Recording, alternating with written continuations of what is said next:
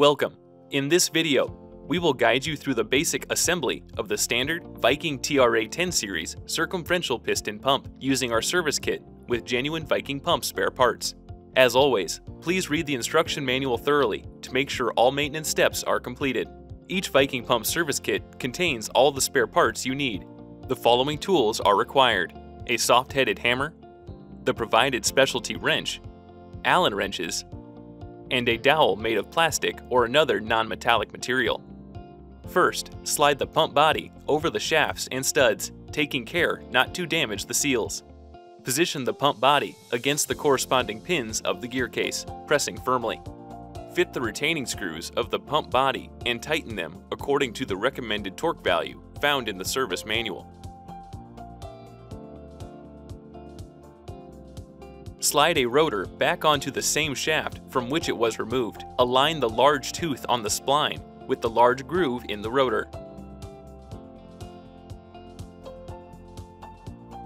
Rotate the rotor into a vertical orientation and repeat this process with the second rotor. Next, secure each rotor with the rotor retaining nuts. Insert a plastic or soft dowel to prevent the rotors from turning. Tighten the first nut using the provided wrench, then by striking the wrench with a soft-headed hammer. Use the same process to tighten the second nut against the first.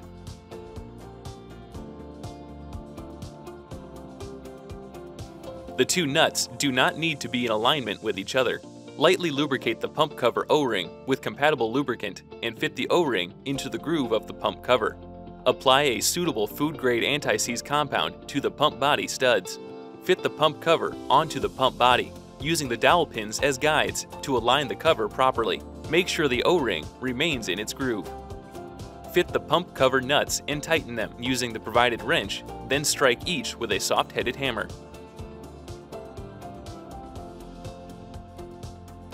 For pump lubrication, Viking TRA-10 series circumferential piston pumps are supplied from the factory, already filled with lubricants. Please refer to the instruction manual for proper lubrication and greasing procedures.